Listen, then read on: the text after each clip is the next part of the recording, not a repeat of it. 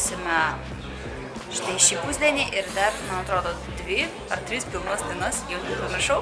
Bet e, ką norėjau pasakyti jau dabar, tai kad šis vlogas bus šiek tiek kitoks negu ankstesnis, kuris buvo iš Pekino, nes aš jį nusprendžiau sujungti su Amerika. Kodėl aš taip nusprendžiau padaryti? Nes e, datos sutapo. Lygiai prieš du metus šią dieną mes atskridome į Los Andželą.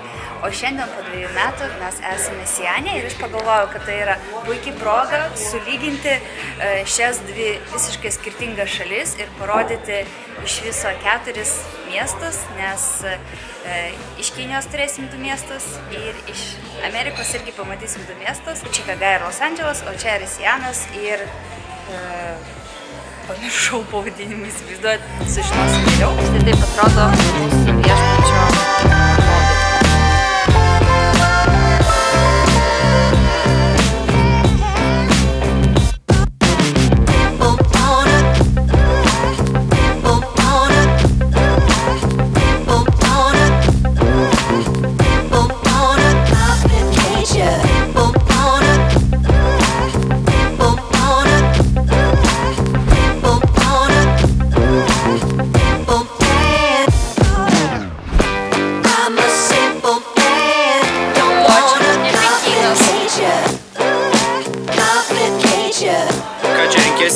Pirueta.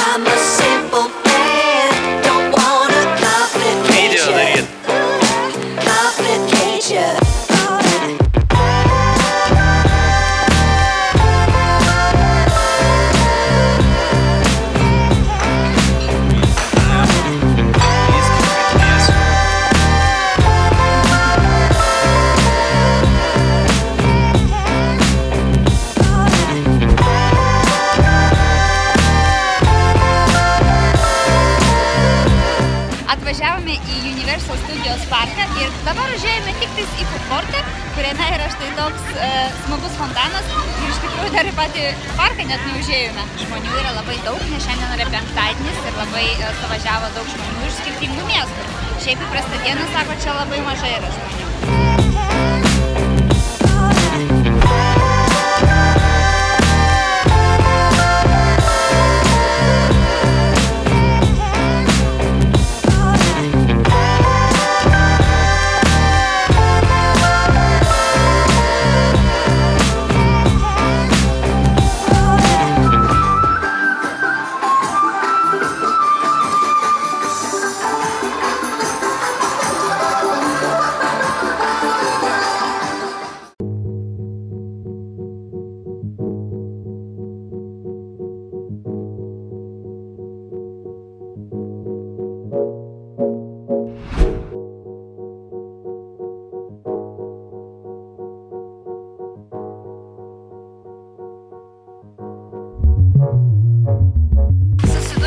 Tokiais sunkumais kaip miesto gyvenimas, norėjom važiuoti į Terakotą, laukiam autobuso gal 10 minučių ir supratom, kad kažkas vyksta ne taip. Ir tiesiog šiek tiek praėjom toliau ir supratom, kad visur viskas yra užbarikaduota pačiais autobusais, tai matyt, nežinau kaip mes davažiuosim, bet bandysim. Pradžių pasirodė, kad čia yra protestas, protesto akcija galbūt, nes autobusai buvo kažkaip labai keistai sustatyti, bet paskui mes prieėjome prie pačio centro miesto ir supratome, kad ten visi ruošiasi maratonui. Tai greičiausiai, kad nieko čia blogo nevyksta, o iš kitos pusės iš kur čia galėtų būti protestas, čia galėtų būti tik maratonas. Tai va šiandien pusė miesto yra užtverta ir kaip iš jo ištrūkti prie viešojo transporto ir išvažiuoti, aš nežinau.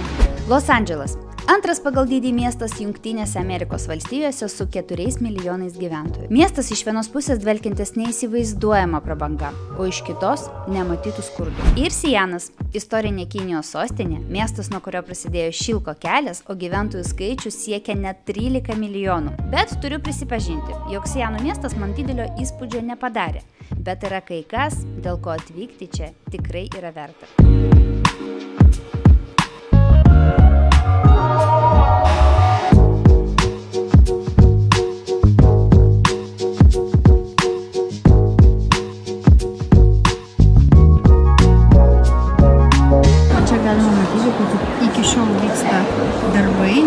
Kamilis pavadino šią vietą operacinę. Čia yra toks aleofisas, žiūrėkit, stalas, kėdutės, yra va, lova iš operacinės, ne lova, bet stalas. Ir va čia va, mes galim matyti, kaip yra surandamos detalės, pavyzdžiui, sudėliojamos pagal kiekvieną karį ir va čia va, jos yra suklijuojamos ir padaroma viena figūra. Čia mes tai prieisim, kur jos jau yra matyti suklijuotos, ir sudėliotos ir stovi.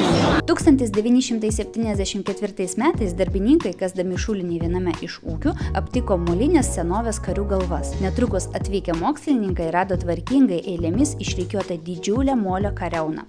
Dabar žinoma kaip terakotinė armija. Šiai dienai apytikriais įvertinimais rasta per 8 tūkstančius karių.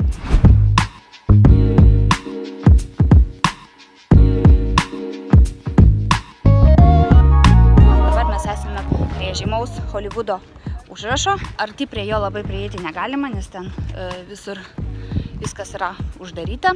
Taip pat šiandien jau spėjome pabuvoti um, Hall of Fame gatvėje, prospekte, kur e, yra labai daug žvaigždučių su žymių žmonių vardais ir pavardėm. Įspūdžiai um, sausau, nes labai daug e, valkatų laukia, ta prasme, žiauriai daug. Hello. From Lithuania.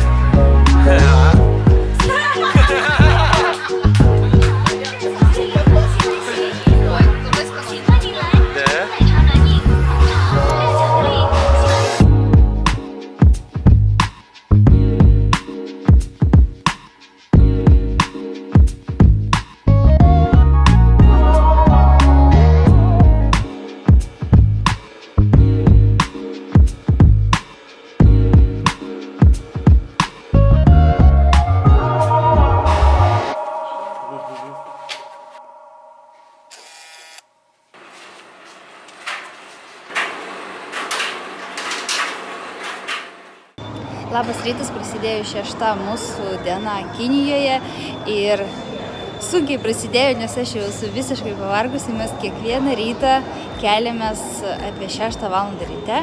Tai pusė šešių, tai šešta, tai pusė septynių ir vis kažkur lėkiam, lėkiam, lėkiam, vis kažkur bėgam, bėgam, bėgam.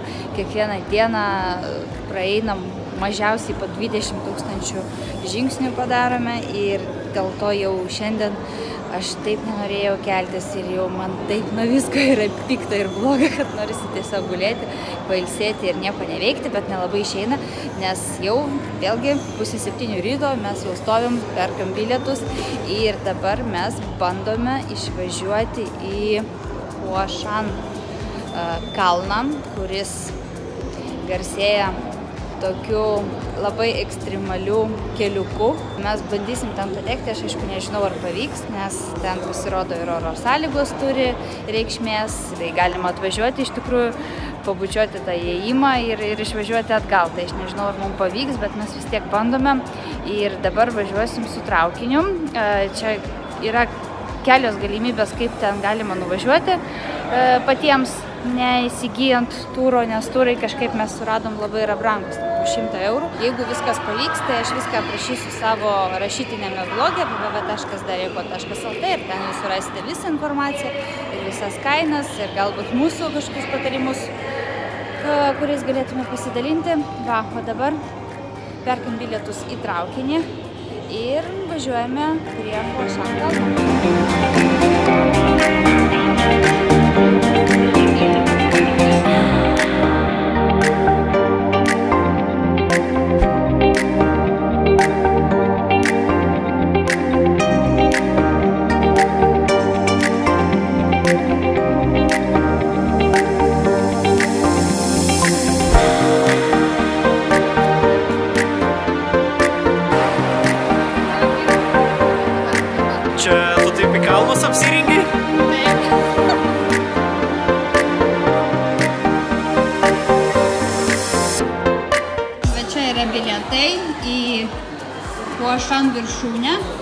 Čia dar reikia su autobusu važiuoti, dar paskui su cable karu. Ir, žodžiu, čia ilgas kelias.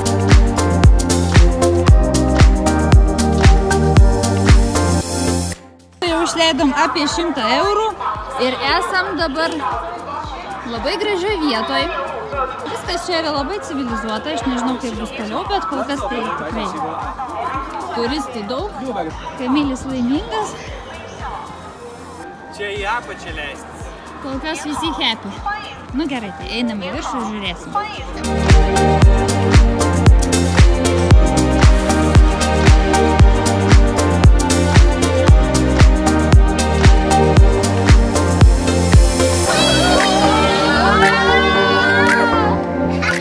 Kalnas Hua – tai yra vienas iš penkių šventų daoizmų kalnų Kinijoje, o kartu su šalia jo išsidėščiusiomis dar keturiomis viršūnėmis kalnų masyvas primena lotoso žiedą. Tai yra be proto graži vieta, kurią tikrai verta aplankyti atvykstant į Sieną.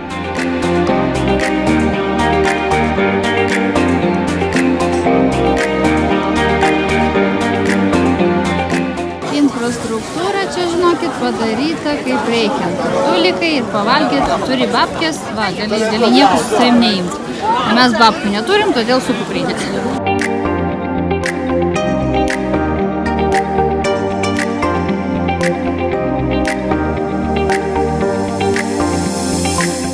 Dabar persikelkime į kalifornietišką Basanavičiaus gatvę, Venecijos paplūdimį. Palei vandenyną išsitiesęs pėsčiųjų takas yra labai populiarus tarp turistų ir miestelėnų.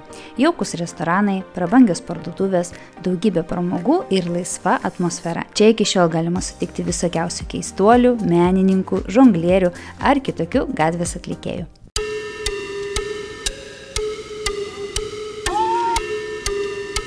Mūsų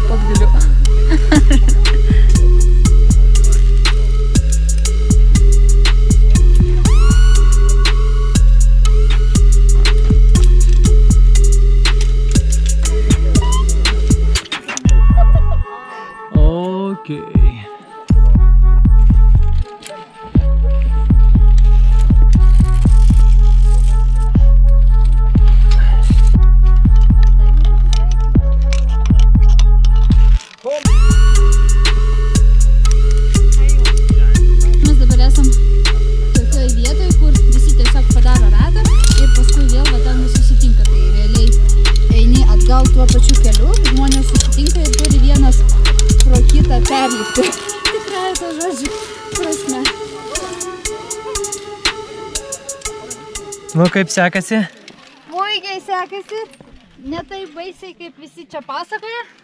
Aš tau sakiau. Važiuokit ir lipkit ir nieko čia tokio nėra.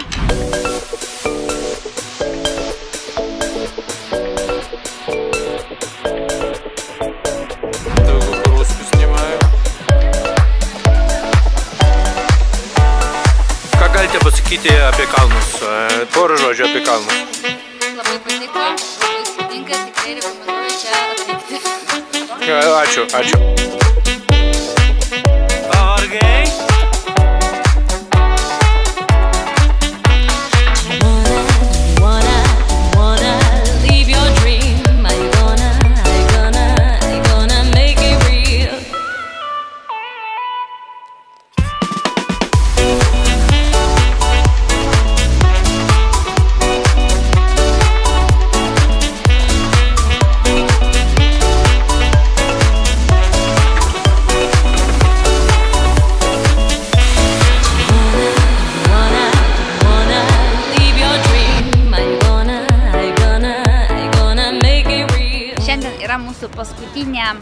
Diena Los Andželė. Po kelių valandų pas mus skrydis ir skrisime mes į Čikagą. O dabar mes esame Santa Monikos, nežinau, miestelėje, o galbūt ne. Tiksliau tariant, rajonas. Kad čia yra vieta, kurią jūs tikriausiai bent kartą matėte kuriame nors iš amerikietiškų filmų.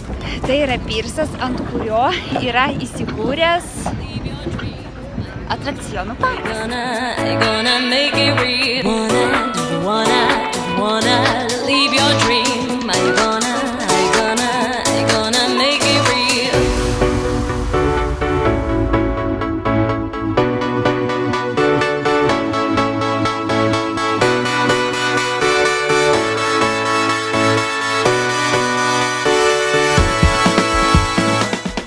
Aš taip prieėjau prie pabaigos mūsų pažintis su Sijano miestu, mes jau išsičekautiname iš mūsų viešbučio, bet dar neišvykstame.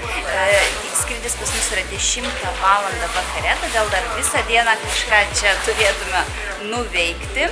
Kalbant apie apsilankymą šiame mieste, tai noriu pasakyti, jog pats miestas mums labai didelio įspūdžio nepaliko, bet dėl ko čia verta atvažiuoti, tai aišku, dėl terakoto armijos tam, kad ją išvysti gyvai, nes tai tikrai yra įspūdinga. Ir be abejo, tai yra Huašan e, kalnai, kur mes vakar apsilankėme ir kur ėjome tuo mediniu takeliu. Tai apie šią pramogą aš tikrai labai plačiai viską prašysiu savo vlogė, nes e, tam, kad susitaupyti pinigų, tikrai neverta pirkti brangiausių, bet galbūt lengviausiai pasiekiamų pasiūlymų, bet tiesiog patiems šiek tiek e, sudėlioti planą ir tiesiog žinoti, kaip ten nuvykti. Kaina yra tikrai nedidelė, vos 30 juanių, tikrai verta nueiti šiuo takeliu, jeigu jūs nebijote aukščio, bet jeigu vis tik e, norite pasirinkti šią vietą kaip bandymo susidaroti su savo aukščio baime, kaime, tai galbūt nedrįščiau ją rekomenduoti, nes ten tikrai didelis rautas žmonių ir pastovėti, pažiopsoti, pagalvoti e, ir turėti galimybę sugrįžti, galbūt nelabai turėsite.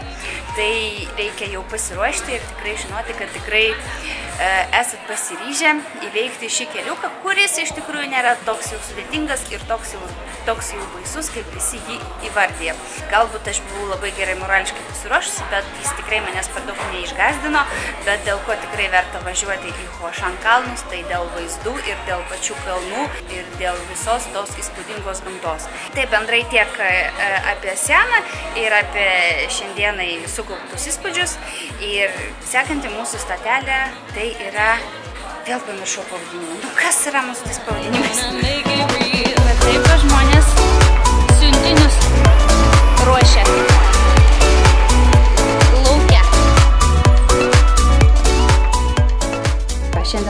Tokia diena, jog e, neturėjom per daug laiko, nes skrydis vakare, o tam, kad kažkur nuvažiuoti toliau, prireiktų labai daug laiko, tai dėl to mes arba sėdėjom kavinėse pusę dienos, o dabar pusę dienos nusprendėme kažką nuveikti, tai aš lakščiau po parduotuvės, o Kamilis tuo metu nusprendė pasidaryti masažą. Tai va dabar jisai ir papasakos, kaip Kinijoje atliekamas masažas.